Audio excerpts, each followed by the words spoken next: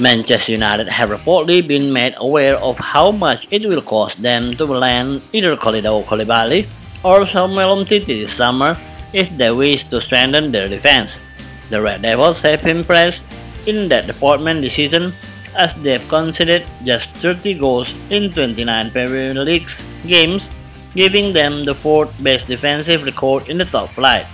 However, despite shoring things up at the back with the signing of Harry Maguire last summer, Ole Gunnar Solskjaer could be looking at another addition to his backline to perhaps partner the club captain and over competition to Victor Lindelof. It could arguably be a bit harsh on the Swede given he has impressed this season too, but competition for place is undoubtedly crucial for a club like United as they look to compete on multiple fronts. If they have hopes of Koulibaly being of solution though, then they'll have to be prepared to dig deep into their pockets as a Calciomercato report that Napoli won at least 100 million euro for their priceless assets still in order to greenlight an exit.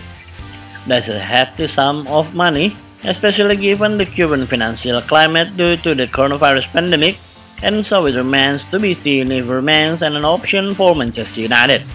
Meanwhile, Sport have reported that Umtiti is valued at 30 million euro by Barcelona and show